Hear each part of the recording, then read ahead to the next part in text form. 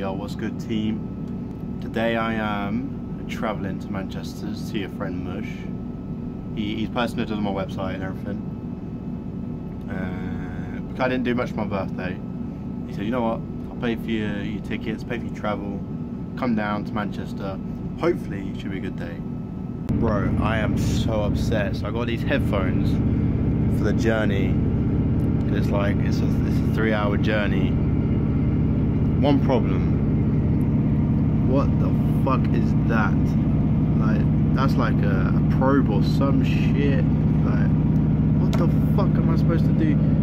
Oh, you know? I'm gonna have to get an adapter. I hope there's an adapter for this. Because that is a piss take. Wait, is this been screwed? Okay, false alarm. I'm happy now.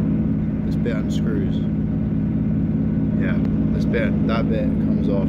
That. Okay, Osman.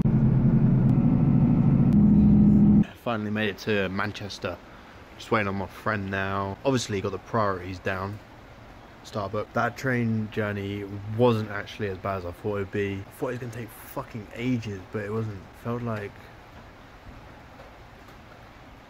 Platform 2 for the 1116 cross country, Service Street, Cheltenham Spa, Bristol Parkway fucking rude. Anyways, what I was saying, um, yeah, it felt like five minutes early.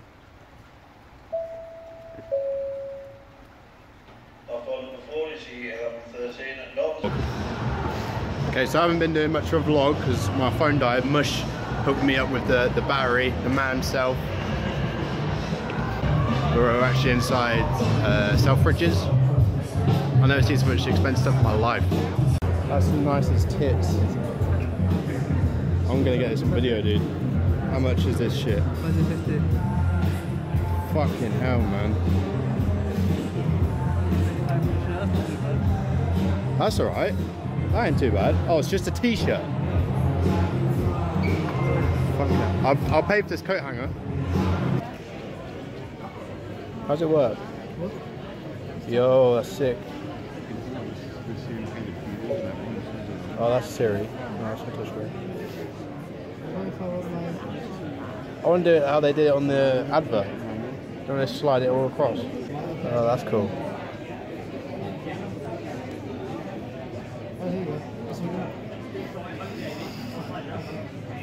Yeah, that's cool.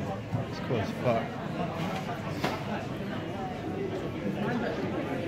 Okay, so a couple of things that I learned on being in Manchester is everyone drives around in fancy cars. There's a Starbucks around every corner. And I can't afford shit here getting food and gains. Okay, so out of everyone that I could have walked into to talk about my knuckle tattoos was Jimmy Carr. And uh, I, I, I told him what he said. Yeah, he asked me about my, my tattoos. Told him it was, he doesn't understand it.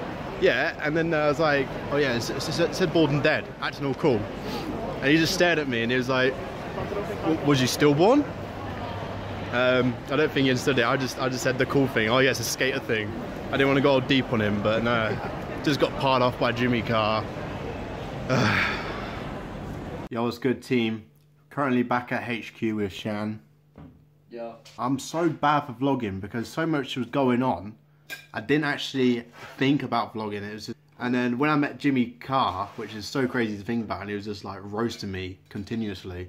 And I was just sit, standing there laughing because I, I, I, was I still couldn't believe it was happening. But I didn't want to shove a camera in his face, you know, for the for the vlog. I didn't get much content today, which is unfortunate.